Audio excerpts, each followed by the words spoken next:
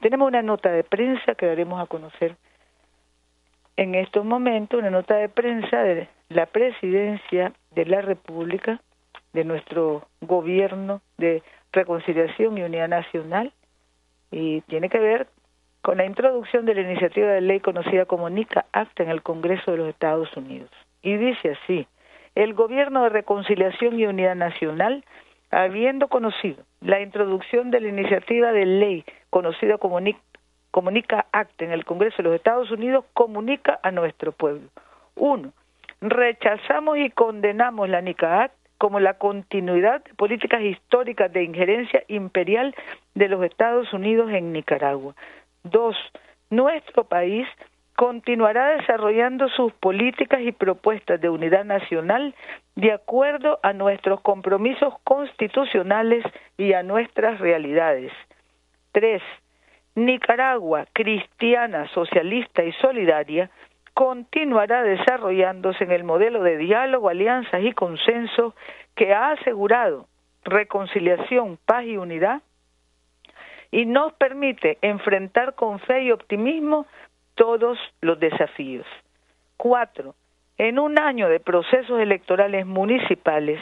continuamos creando las condiciones óptimas para que las familias nicaragüenses expresen su voluntad y elijan sus gobiernos locales en armonía social y en garantía de esta paz que todos procuramos con nuestro esfuerzo y trabajo cotidiano.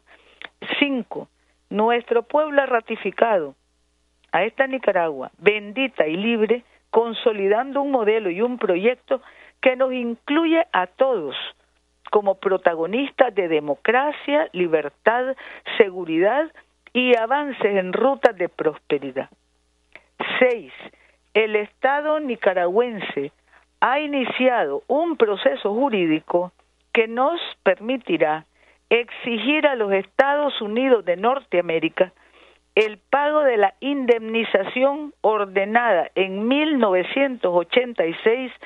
por la Corte Internacional de Justicia de la Haya como compensación por los daños fatales ocasionados al pueblo y gobierno de Nicaragua por la intromisión destructiva e ilegal de esa potencia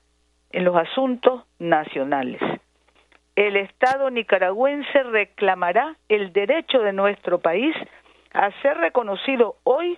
con recursos que se dispondrán para la paz, la democracia y el desarrollo. Managua, 27 de julio del 2017, Gobierno de Reconciliación y Unidad Nacional. Ese, compañeros y compañeras, es el pronunciamiento oficial de nuestro gobierno